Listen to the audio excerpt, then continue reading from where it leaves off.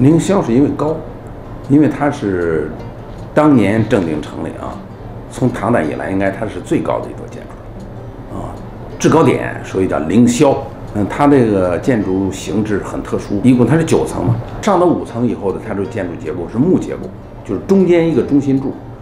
四面呢都是像辐条一样的啊木木头跟外廊连起来，所以这种建筑结构中间这个柱子具有独特性。关于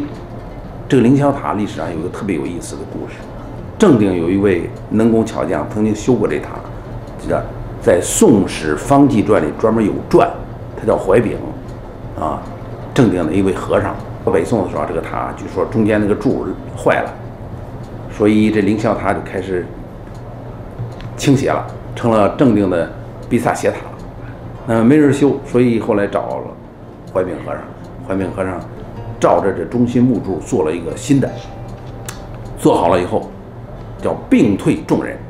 工匠你给我运上来，他只带了一个人，不闻浮躁之声。就把中间那个柱子换下来了，下面的人观之，可见这个塔就正过来了。